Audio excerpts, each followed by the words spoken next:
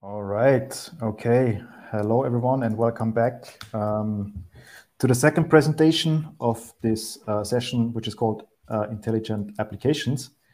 Um, if you're new to the session, welcome. Uh, my name is Manfred. I'm a sales specialist for uh, application services and middleware uh, across EMEA. And um, in this session now, I'm joined by Thomas and Clement, uh, who will talk about Apache Kafka and Quarkus. Thomas, in his main job, is a barbecue fanatic, and on the side, he also works for Red Hat and governs uh, Quarkus development there. And then we also have Clement on uh, in the presentation, who is again as a main job, he's a, a, rabbit shepherd, so you may see some rabbits there in the background at some point. And on the side as well, he's uh, working a little bit on on Kafka and Quarkus. Um, the presentation, the slides, and the recording uh, will be made available to you. You will receive an email in a couple of days um, with instructions how to get access to those. And with that, gentlemen, I'm handing over to you. Uh, please take it away. Thank you, Manfred. Uh, I, I wish my main job was barbecuing, actually, but it's not really true. uh, so uh, I, am just barbecuing on my on my free time, basically. Uh, but but yeah, the demo we created for this today is going to have some influences both about uh, about barbecuing and rabbits. So hopefully it will, will be fun.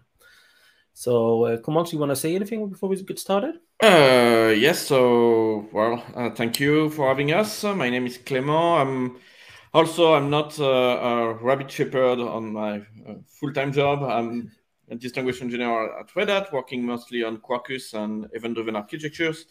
And yes, on the side, I also have rabbits, real rabbits. So you may see some jumping around me uh, during the presentation.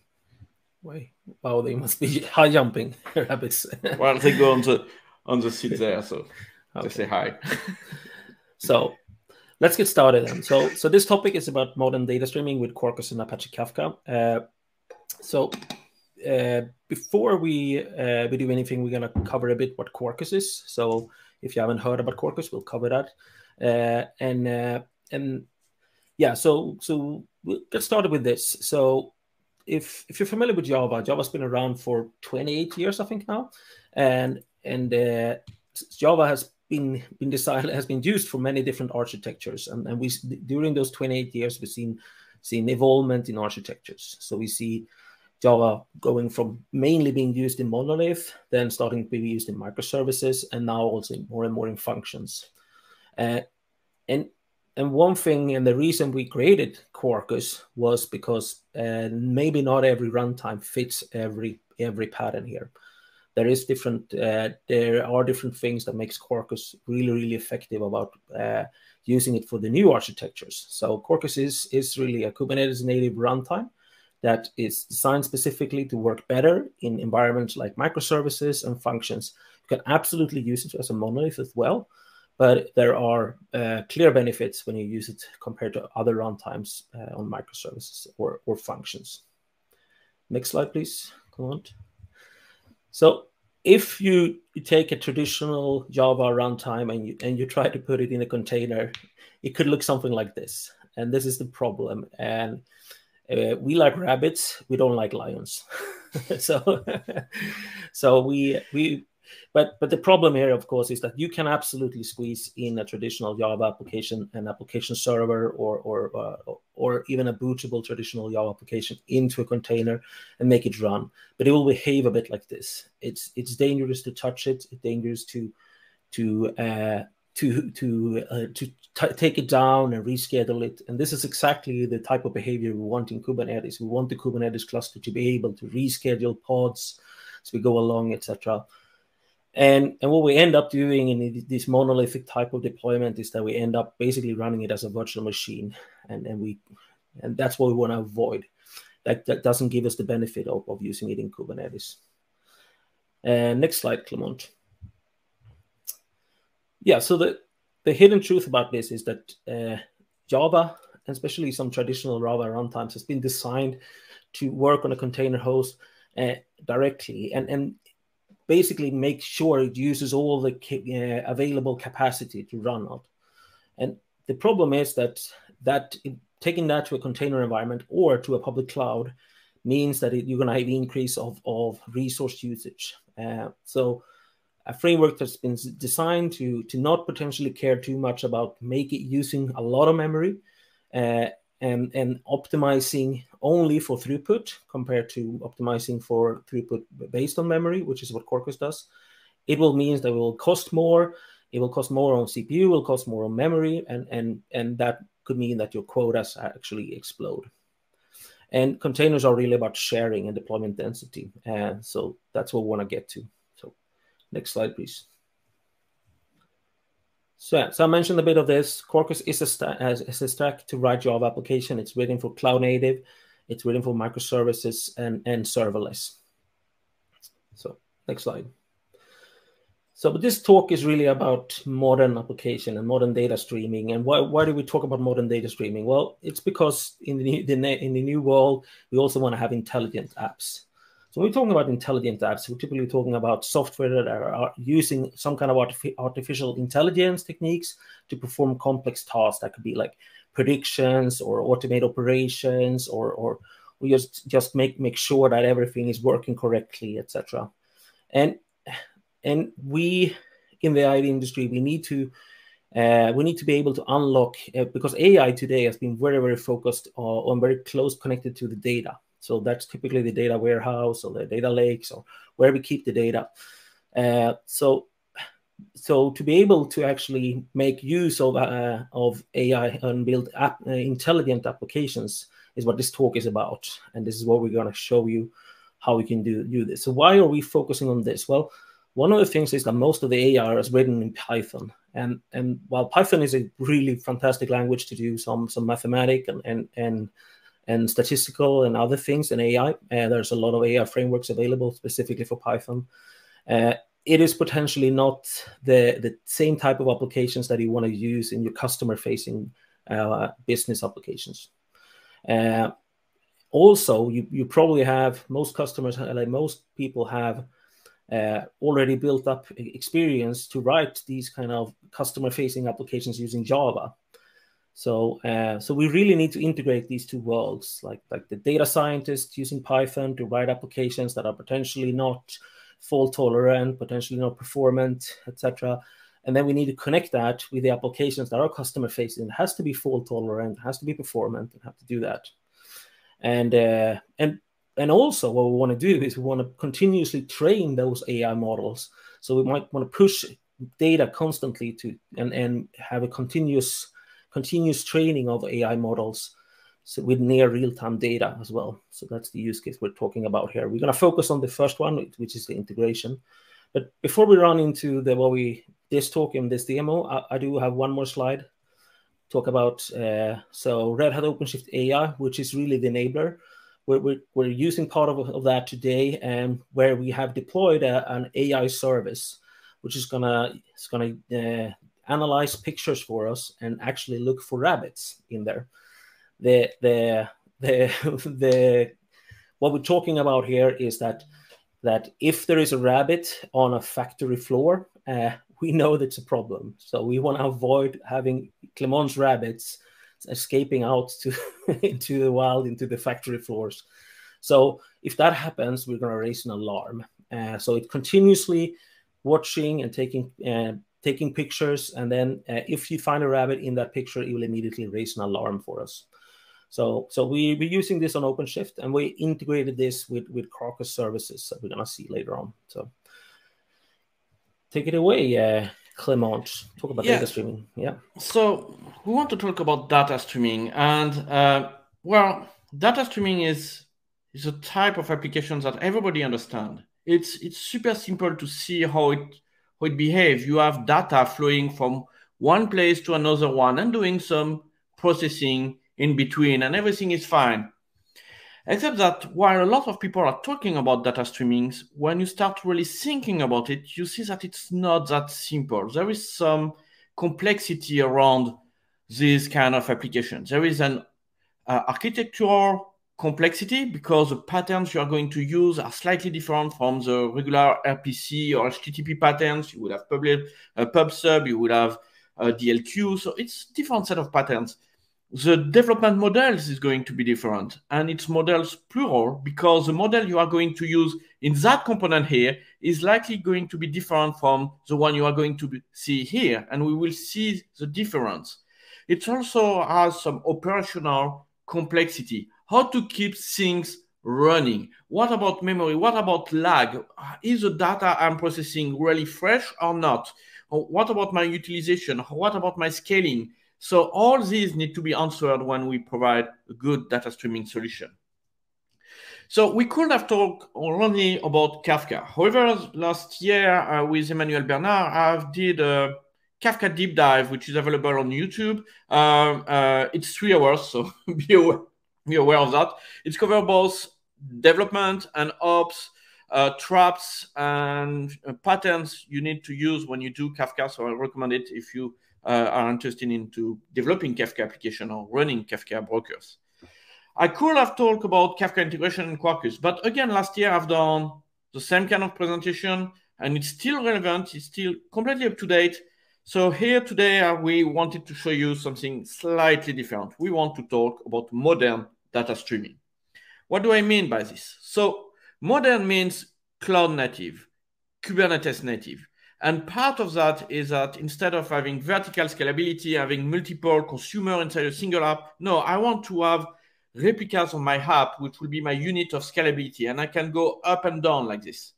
As Thomas said, it needs to be reliable. If those flow stops, it's not only your application that is in trouble, it's the rest of the pipeline that won't get data or that will start getting unfresh data and things like that. So it can be critical. So we need to have something reliable. We need to have re graceful remediation patterns, means that the application will auto repair itself, self repair itself. And obviously, we're in 2023, it needs to be secured uh, from the beginning to the end. That includes data integrity, authentications, encryptions, and so on. What about data streamings? Well, data streamings means that what we are going to manipulate are events. Those events might be sent into messages, which is what we do in Kafka, but the concept is events. And we are going to manipulate unbounded streams of events. We are not going to manipulate a collection of fixed size collection of events. It's really something that can be literally be infinite. And how you manipulate those infinite streams is slightly different uh, because you are you can't really do uh, accumulation across something infinite, or you will have a memory issue. We also need to have actionable analytics. The data we want need to be fresh. We need to monitor the lag. We need to monitor all this and react according to that. And this leads to the later, latest point, adaptive scaling. Based on the application and its behavior, based on the um, uh, processing time, on the lag, on the uh, arrival rate, we want to scale up and down your components. So let's go back to the basis. At the core of modern data streaming, you will have discrete events. Discrete events is an envelope with two main things inside. First, the metadata, and then the payload or the data itself. Among the metadata, the key is very, very important. The key is what will correlate events with other events. So that's very important. Don't miss that one. We also have the schema, but the schema is optional. Uh, most of the usage we see are schema-less, while when you want to apply such kind of architecture at scale, we recommend to use a schema, which is the definition of the format of the data, which means that everybody can understand what they are exchanging. Once you have the definition of a discrete event, well, we have event streams, which are an unbounded sequence of related events ordered by time. The keyword here is related events, and this relation is mapped by the key. So the key inside the metadata is what we define two related events. So in these pictures, we have three uh, events, all having the same key, forming an event stream. The second part of that sentence is ordered by time, meaning that when we process one event of that uh, event stream, it means that all the previous events have been handled already. So we need to be sure that we don't lose the order uh, when we really want to keep it. If we think about this and start going back to what we discussed about data streamings and how how it was simply data flowing across the system, well, we can already start doing a first step by having this kind of abstract architectures with four layers. On the left side, you have, well, the data generator, data and event sources. So it can be sensors, can be uh, analytics coming from application, uh, um, browsers, HTTP request, whatever. That Cine is emitting events, which will be then received and uh, by the ingestion layer, which will maybe do some very simple processing and then writing that down and initiating the real pipeline, the real processing pipeline. This goes to the second layer, to the third layer, which is the stream processing. While at the ingestion layer, we want to handle a lot of events, at the stream processing layer, we want to do that um, in parallel using stateful or stateless uh, processing. We are really going to manipulate and reshape the streams. So very different uh, business logic. And then once the stream processing uh, completes, it goes to the last layer where we really see the data product, where we can do analytics, uh, we can do uh, data serving, so providing the data to other services, and rich data and uh, data that add, add some values, can be stored on a data lake, or do such kind of things. Across this pipeline, of course, we should not forget that we need to handle the metadata. So what kind of data do I have? The schemas, if you are using a schema full approach, observability, uh, key for monitoring and uh, understanding what's going on, discoverability, how I discover new type of event, how I discover uh, such kind of things, and obviously, as I mentioned already, security. So what, how do we implement such kind of application in Quarkus? Well, at the core, we are going to use um, development model, which is named reactive messaging, uh, which is basically a set of annotations that let you implement event-driven microservices in Quarkus. So these annotations are incoming, ongoing. There is a few others, but basically it's five or six uh, annotations, relatively simple to understand. And basically, your application is going to be connected to some broker or to some event source. We'll get the events through a connector, and then you will have CDI bean, which is a basic block in a Quarkus application, which will receive that data and process it and then send it to another channel and then another channel and then back to another connector that will write the data somewhere else, can be a Kafka, can be whatever. So, and those channels of communications are actually the name I have here. So order aggregate or report and things like this. Okay, um, before going further, we want to show you some demos to try to explain a little bit more what we are uh, intended to, to do here. So our demos is, is this one. So you, you can have the code here. I will give again the, the URL uh, at the end of this presentation.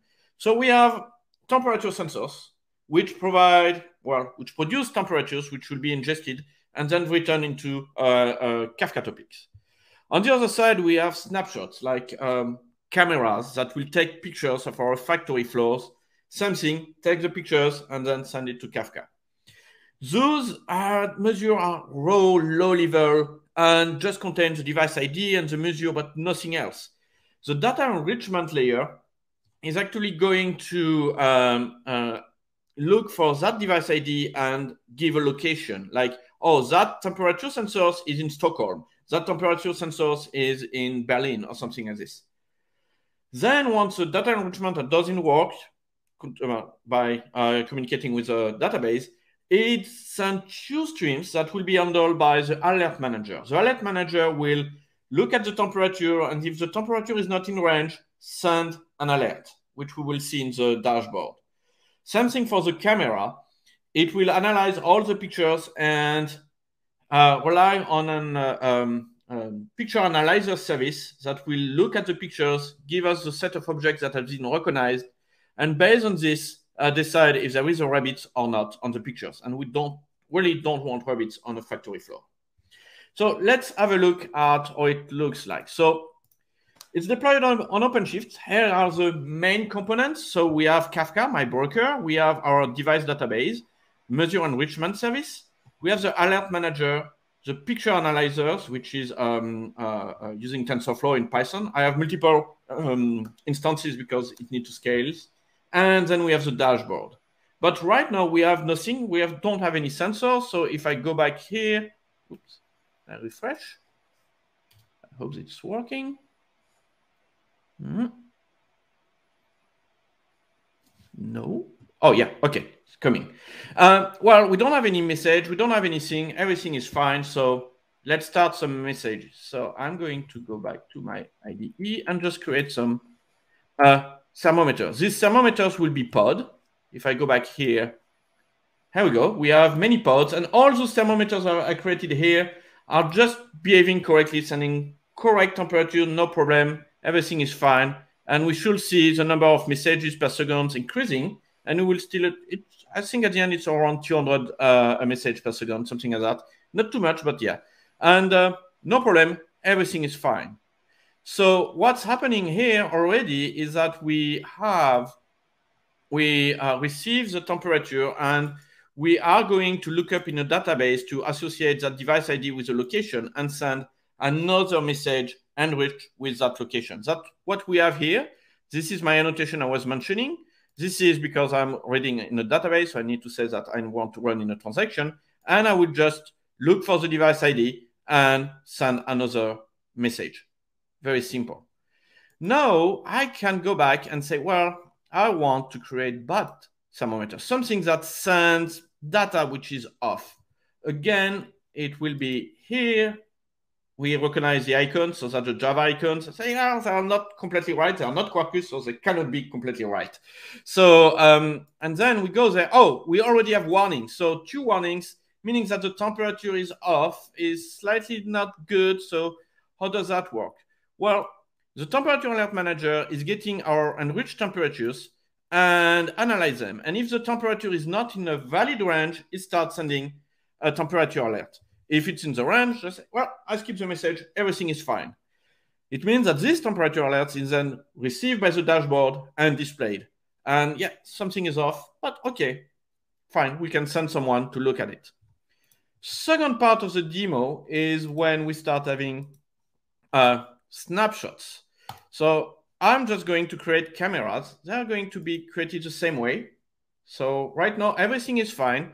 And the cameras are actually uh, very simple. They just, well, they are fakes. Uh, and they just iterate over a set of images of five men in a factory. So everything is fine. Um, that one is fine. It looks like a factory. Everything is fine. Kind of a factory or factory construction is fine. And a lab, but okay, fine. Everything is fine and so on. So if we go back here and I start looking at here, I see that I already have 32 image that has been processed. Um, but everything is fine. Those pictures are all good, no problem. So if we look at how this works, I will go back to my uh, no, snapshot analyzer. It's slightly, uh, it's a bit different. So instead of taking my events one by one, this time I want to group them and do some batches and analyze these uh, images batch by batch. And one of the logical uh, way of doing this is say, well, I want all the pictures from uh, Berlin, all the pictures from Stockholm, all the pictures from uh, from Paris, which are the three locations we are managing today. So how to do this? Well, same annotations, but here the signature of the uh, method is slightly different. Instead of having one event and returning one event, I'm getting a stream, a multi. It's a stream, so it's an unbounded stream of data and then we return another stream. And that stream is actually keyed by this key extractor. That means that we don't get a simple stream, we get a stream where in that stream, all the messages have the same key, the location. So that means that this code will be run for Berlin, will be run for Stockholm, and will be run for Paris. And uh, if you add new location, it will be run for another location. So that's great, but what do we do with this? Well, then we analyze those snapshots. And for this, I'm going to invoke uh, our prediction service, our object analyzer. The object analyzer is exposing a REST API or HTTP API, which I invoked very easily using an Quarkus REST service, a REST client, sorry, uh, where this is my location. stork means that we are going to use service discovery to find it, but no problem here. And I'm just going to send the pictures and get the result back. However, well, it's slightly slow. So we need to be aware of that. So I need to protect myself. I need to be reliable. So in my case, I just want to do a retry.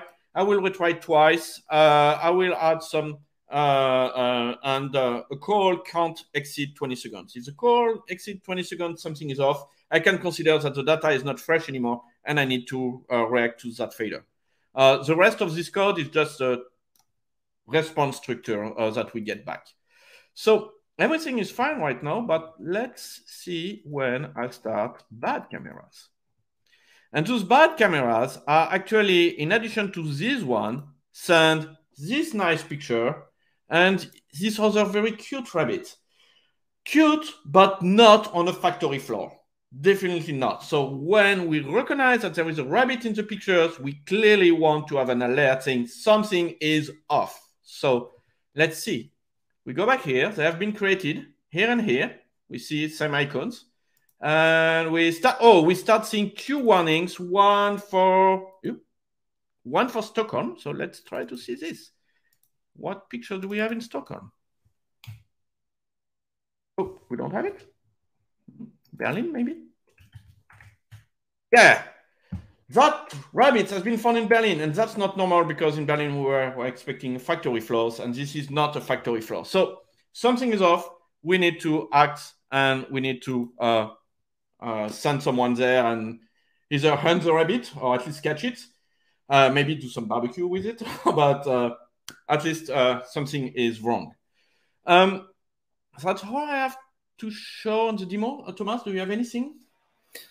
No, I, I, think I think it could be worth if you if you click on observe as well. Yes, and and, um, and I need to go to the developer view. Yes, here. Sorry, and if you scroll down to the memory. Uh, yeah, that's what I have here. Yeah. So so if you notice that the the top three memory consumptions here are the Python app containers that are running the TensorFlow, etc. Could be expected, absolutely, but but really, what we want to think about here is is is the capability of running the data ingestion, working effectively with streaming, etc. If you look at the at the Quarkus one, they're all running pretty pretty low here. I think the top next one is Kafka, and then we have uh, all the Quarkus one on, on less than 500 megabytes of memory. We could have gone further and compiled them to native, and we would have uh, compress that memory even more.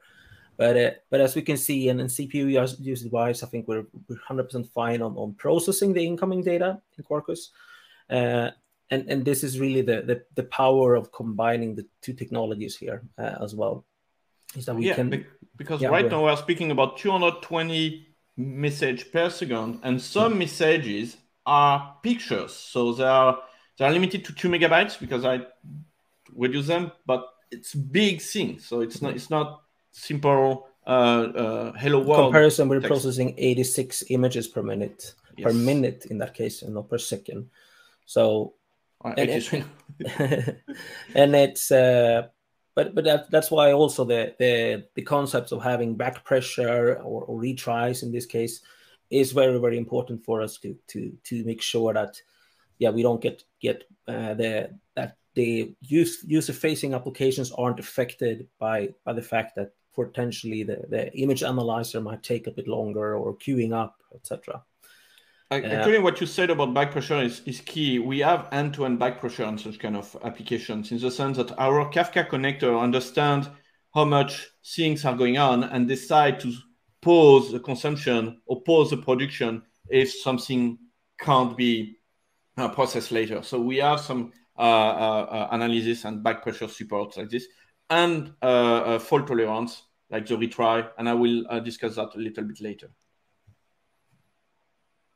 Um, one thing I can do uh, before leaving this is killing all my devices. So we see it going back down. Why is that? Well, we should mention as well that the tool you're using called Just, it's it's just a command line tool, kind of like like Make, if you're familiar with Make. So it's not something particular. It just executes the command that. Yeah, it's command. just a. Uh, all my commands of my demos are inside just Jonas file, and I just click on the gwin and uh, you know and just execute it. So, and we should see the number of message going down. Yes, that's what yeah. we have. All right, so let's go back here. Again, if you want to see the code, uh, you can go there, you can deploy it, you can run it. Uh, everything is there and it's reproducible. So uh, very quickly, um, what we have seen, we have seen data ingestion, how it works, uh, the kind of things that we need to do. So here, the top concerns are protocol, concurrency, security, and resilience. So this leads to construction block which will be asynchronous emitter, some kind of things that we see here, where I want to send data or translate from one protocol to another one.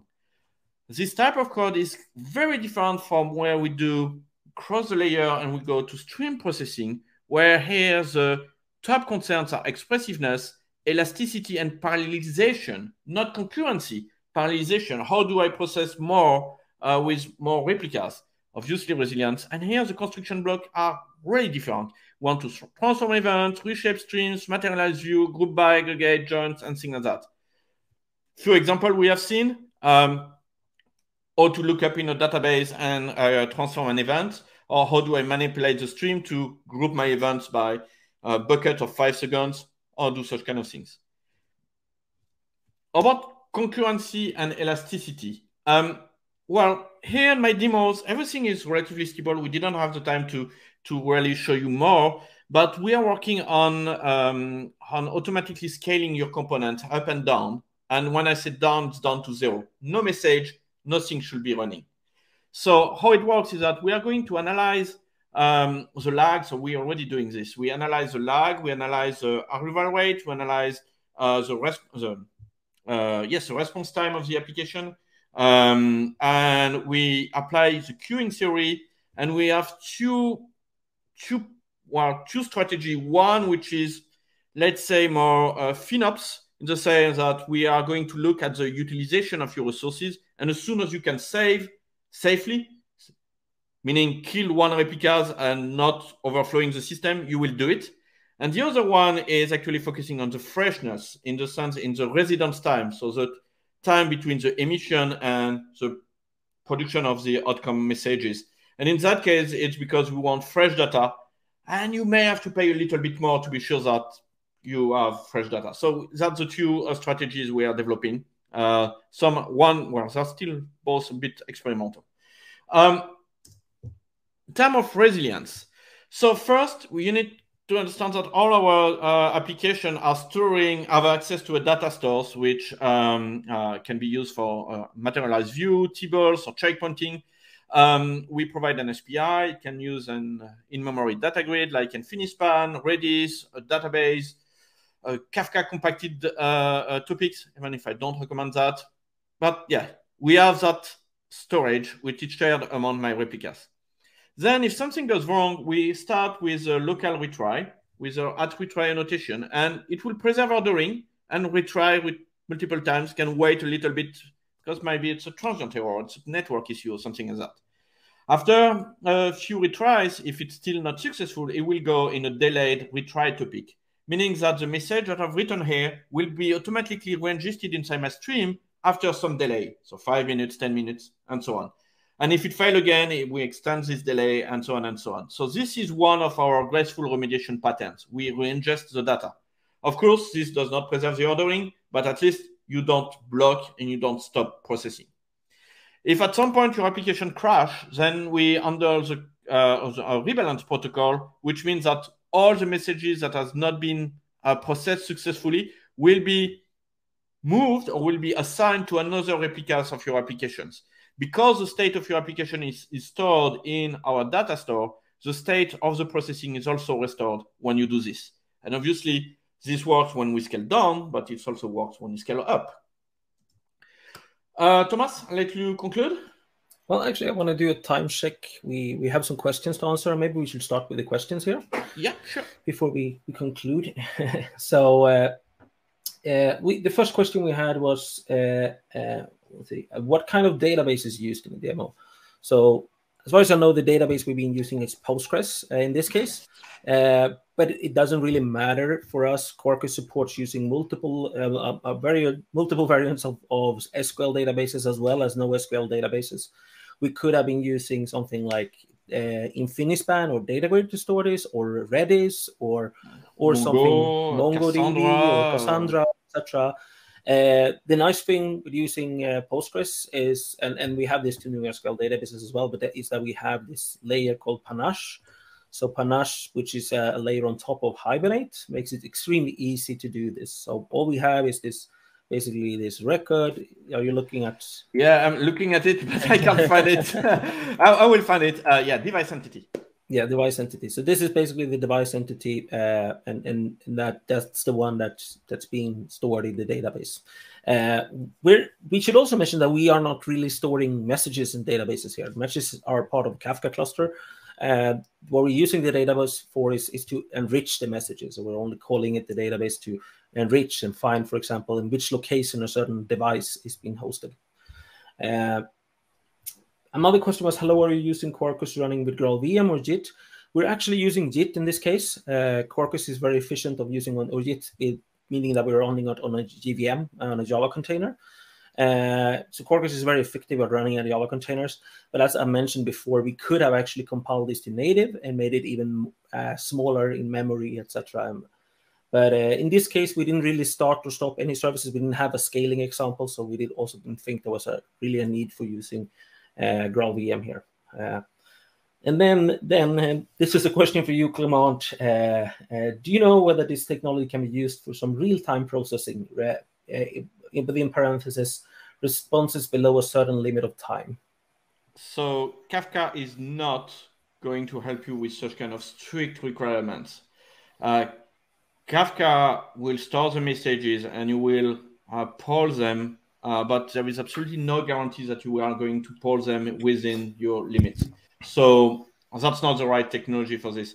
There are other Java technologies like, um, and I blank, um, uh, from the London companies. Um, ah, well, if you come back, I will, I will mention it. Uh, just, uh, but that, there are other technologies that are designed for such kind of use case. But and, and we should mention that in this particular use case, we're focusing more on event-based type of architecture. Yes. So devices are sending out events and reacting to events.